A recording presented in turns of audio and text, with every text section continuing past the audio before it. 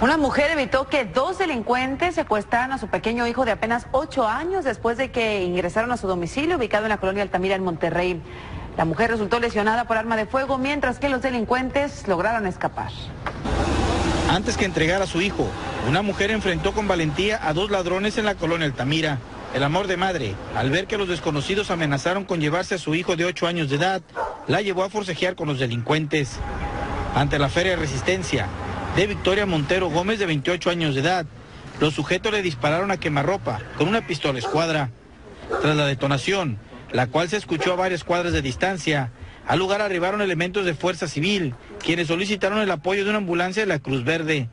Los paramédicos revelaron que la mujer había sufrido un impacto de bala en el pie derecho.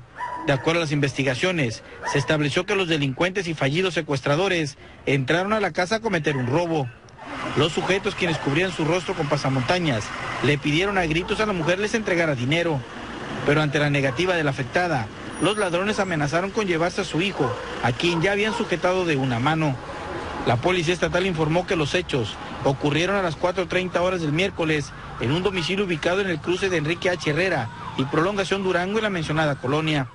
Se reveló que durante los hechos en la casa estaban dos menores más, quienes fueron despertados por los gritos de su mamá.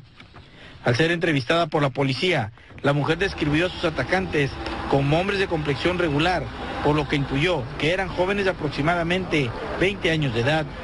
A pesar de que la Policía Estatal inició las investigaciones en torno a los hechos, estos no fueron ubicados por la policía.